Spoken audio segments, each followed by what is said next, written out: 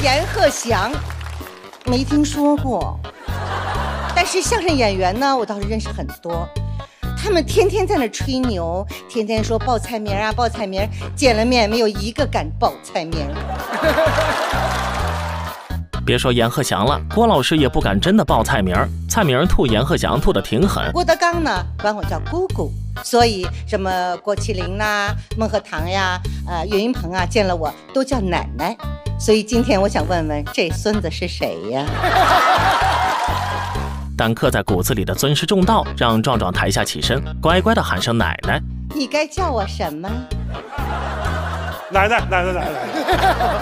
为什么郭德纲见面要喊蔡明姑姑？是因为蔡明和侯耀文的关系。八九十年代，蔡明和侯耀文同台机会非常多，包括春晚以及各地的演出，二人的关系十分亲近。侯耀文去世后，蔡明也参加了老友追悼会。人情世故方面，郭老师非常的懂礼数。吐槽大会上，阎鹤祥对蔡明不敬，宛如打了师傅郭德纲的脸。这一刻，阎鹤祥将火力收起，温柔的吐槽起了这位奶奶。这么多年啊，蔡明老师一直很贴近年轻人。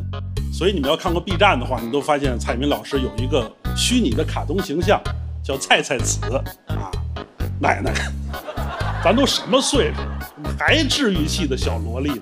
你这样，我这我这种元气小正太，我都听不下去了。吐槽大会都不敢尽情吐槽，可见对奶奶的尊敬。除了蔡明，壮壮基本遇神杀神，遇鬼杀鬼，进攻型捧哏来说脱口秀，风格照样是进攻型。张大大出生的时候，接生那个护士都傻了，嚯，这孩子长得，先去备个案吧。孩子别着急啊，等你会说话了，咱们再去自首。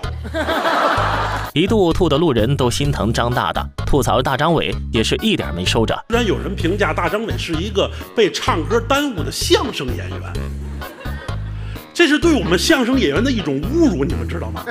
就如果大张伟捧哏，你们都无法想象啊。逗哏站在这儿，呃，今天我们给大家说一段相声。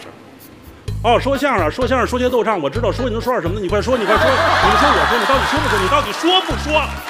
尤其混得越熟的人，越是不留任何情面。参加完吐槽大会，阎鹤祥一度担心自己还能不能回到德云社，不仅编排师傅，还编排于大爷。去年乐队夏天那个节目老火了，导致观众一再复活，他们复活了三次。你想啊，五条人复活了三次，等于捞了十五条人。就我特别想用我师傅那句话问问你们俩：你死不死啊？整期看下来，只有在面对蔡明老师时，壮壮才比较像个孙子。下期见。